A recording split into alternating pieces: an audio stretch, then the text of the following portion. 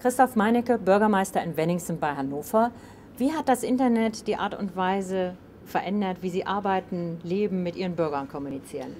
Die Bürger sind wesentlich neugieriger geworden. Das Internet ist ein neuer Kommunikationskanal und die Bürger suchen über Suchmaschinen, über die Gemeinde-Homepage, aber auch auf den persönlichen Seiten eines Bürgermeisters nach Informationen, die sie nutzen können in ihrem realen sozialen Umfeld, zum Beispiel bei uns in Wenigsen. Und jetzt haben Sie ein eigenes Blog eröffnet. Ich habe mir vorgenommen, den Bürger auch direkt und unmittelbar über meine Arbeit zu informieren, weil es immer wieder die Frage gibt, was macht ein Bürgermeister eigentlich den ganzen Tag?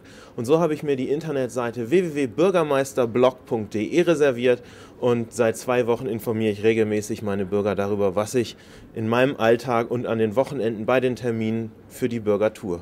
Und was war so der letzte Eintrag? Der letzte Eintrag war die beste Nachricht eigentlich seit langem, dass es uns in der Gemeinde Wenigsen im vergangenen Jahr gelungen ist, erstmals ein Plus zu erwirtschaften und wir damit unseren horrenden Schuldenstand etwas nach unten drücken konnten. Dankeschön.